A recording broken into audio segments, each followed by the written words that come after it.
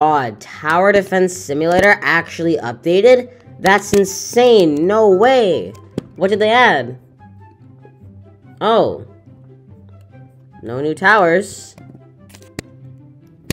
Uh, okay then. I don't see any new maps. Did they redo... Wait. Wait a minute.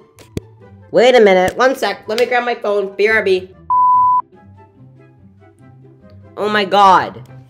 They actually just changed maps. There's no actual new update. What the f... Man, I came here about to play this game for once. Thinking, oh, crap, there's an update. I have something to do in this boring ass game now. No, they just reskin some maps. Very cool. Very, very high quality update, you know? I think I could... It, took like a month. How's it take a month? I could do that in 10 minutes if I got Blender open right now. God damn. Okay, wait. Maybe I'm being a bit too harsh. I should... I, I, I need to find a map before I judge how bad this is. Where are the new maps? Okay, BRB.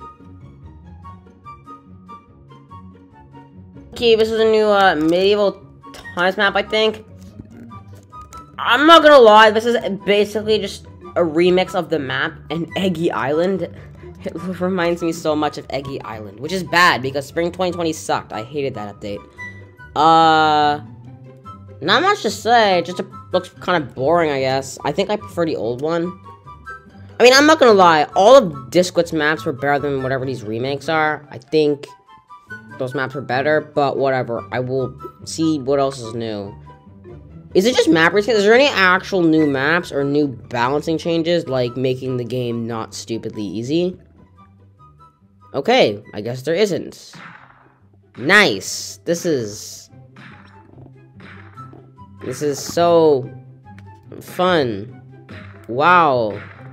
I'm having such an amazing time in this game. This is the most enjoyable thing I think I've ever played. Wow. call a real game. A game where they get little updates, but the updates actually have things instead of just being reskins of other things. Okay, TDS, please add actual updates from now on. Okay, thanks. Bye.